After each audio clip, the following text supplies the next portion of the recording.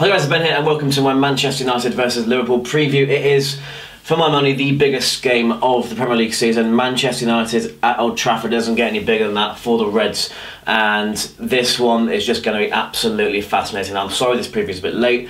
Um, I've been completely, completely, ridiculously ill, so now is my last chance to do it and I'm going to do it now.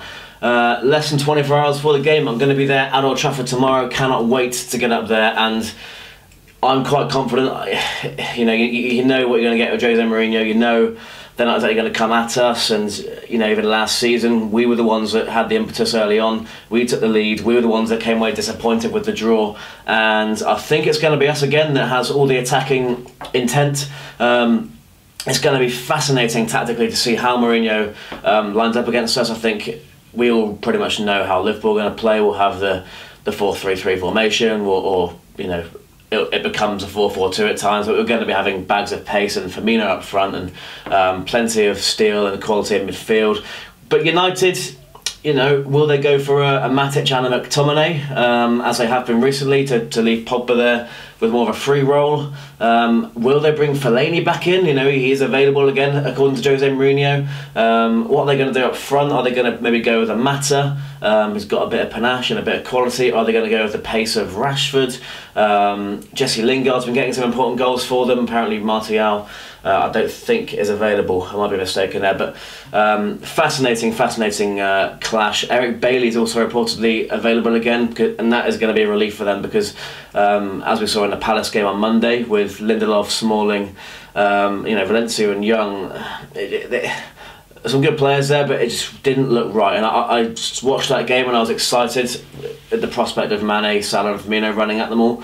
So that g- gives me a lot of confidence. Obviously, going to Old Trafford and uh, this very young Liverpool side, and uh, Liverpool side that you hasn't really won any trophies, doesn't really have the know-how to go into these grounds and grind out a result necessarily. We're just going to go and out football them. Um, not that that's a word, but yeah, I think it's very much going to be our heavy metal football as Klopp likes to call it versus the the nous and the, the, the pragmatism of Jose Mourinho, and it's it's, it's a clash um, of styles that I love to see. It's a fascinating one, as I keep saying.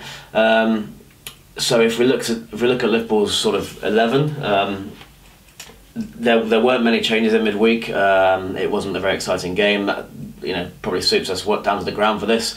Um, plenty of energy in all of those legs. Um, you know, Salah was rested, so that's that's great. Uh, but Firmino and Mane played, and quite a lot of the other first team players played. Van Dijk was rested, but so, you know, Karius in goal, um, right back. Now, Trent played well here last season, so I see no reason why he shouldn't keep his place um, as far as the league team is concerned and play here again. I would play Dejan Lovren alongside uh, Virgil van Dijk. Lovren seems to play well against uh, Romelu Lukaku every time I've seen him uh, play against him, so hopefully that's the case again on Saturday. Robertson, of course, at left back. The midfield, as is always the case, uh, you know, there's six midfielders there. We could pick absolutely any of them. Um, my instinct would tell me we'll, we'll keep it quite tight. You know, we'll keep it quite solid and maybe look look at Henderson, Can Van Wijnaldum trio. Um, as, as as exciting as that isn't. Um, I'd be more than happy to see us go two of them and then Oxlade Chamberlain. Uh, that would, that would be my preference, but I think we'll probably stick with you know a solid three who can get forward and can drive forward and play play the play the killer passes, but you know also has that defensive solidity and strength. Um, you know, we saw Wijnaldum have a great game against Man City in January. Uh, we know what Emre Can can do in these big games. Jordan Henderson, obviously the captain, um, you know, is as good as he's in these occasions as anyone else. And then the front three of Mane, Salah, Firmino. So it's a fascinating one, and I, I do have confidence, and, and it's an interesting dynamic in terms of what the fixture actually means because I think You'd be surprised if either of these sides finished outside the top four, especially with Arsenal being miles away, Chelsea being the other side outside the top four, and they're not exactly firing all cylinders. They've also still got the Champions League just like us. I think we're seven points ahead of them, and we have to go to the bridge. Um, obviously, if we lose here and lose at the bridge, then you know suddenly it's one point. But um, the significance of a victory here is far goes far deeper than just league position for me. It's it's all about where we are, who are Man City's biggest contenders, not just now, but in years to come.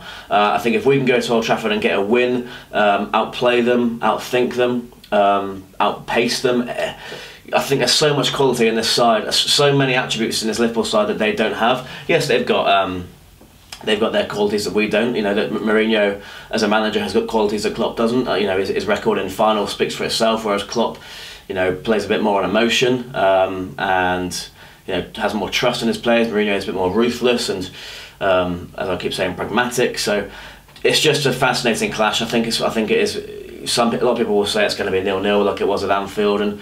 I just don't think that'll be the case this time. I just have a feeling there's going to be goals. I, I just cannot see us not scoring. United have to come out with us, as the cliche goes, but they do have to come and play um, to a certain degree. I, am sure. Know, I, I know United fans do like Mourinho because he's a successful manager and he's got that bit of needle that, that they that they thrive on. But he's got to come and try and beat Liverpool here. He's got to try and do it. And any any space that comes available to us, we're going to exploit. Um, which is why I want to see Oxlade Chamberlain in there, getting in between the lines and making those driving runs, feeding the uh, three ahead of him. But yeah, this, this, the, the time for talking is almost over. It's Manchester United versus Liverpool. Um, it's my favourite game of the season. You know, in, in some ways, it's my least favourite in other ways. I don't normally do this, but I've seen a lot of combined 11s going around, everyone arguing about it, um, so I thought I'd throw mine in as well.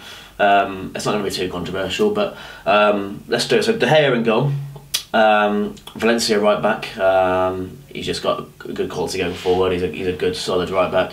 Um, central defence, Van Dijk obviously. Um, as much as United fans will try to say that he's a waste of money and um, Smalling's better, I saw someone say. Uh, you know, that's just I think that's just uh, a bit of digging there. Uh, and Eric Bailly, great, great defender. Left back Robertson. You know, United haven't really got a quality left back. Probably somewhere they'll look to strengthen in the summer. Uh, the midfield now, neither midfield is as good as it you know has been in years gone by. Um, you'd have to kind of probably pick Nemanja Matic. He's almost a complete midfielder. Um, he, he can be exposed, but I think he's had a good season for United. And obviously, in the season when Chelsea did win the league, he was very, very effective. He's quite, you know, obviously breaking up play, and he has got a great shot on him as well. We saw on Monday.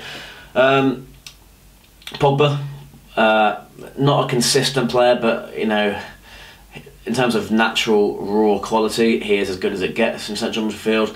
And do you know what? I'm going to pick Oxlade Chamberlain as, as the other one. Uh, you know, people might laugh at that, but I think he's been terrific for the Reds since he's come in. He was he took a while to bed in, but um, you know, I, am very enthusiastic about him, and I think he is he's arguably our best midfielder this season. You know, um, with Keita to come in next year you know, you, you, can only be excited at, the prospect of those two playing together uh, in a diamond with a number six behind them, whoever that number six may be.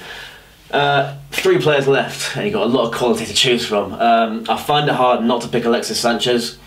I just think, you know, we haven't seen it at United yet, but at Arsenal he was he just knew he was going to win in the game if ever they were in trouble. Uh, Mohamed Salah, obviously best player in the league, and Firmino up front. Uh, Bobby Firmino is one of the most complete strikers in Europe, so that's a no-brainer. Um, so that's my command eleven. My prediction for Saturday.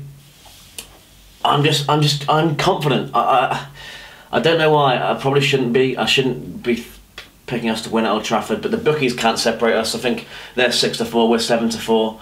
Um, I'm just going to pick us to go there and win it. I'm going to go. Uh, 2 1 to the Reds, why not? I, I, think we've progressed so much since last season. I don't think they have. I know they're much better in the league, but um, I just think we're going to go there and do the business. I really do.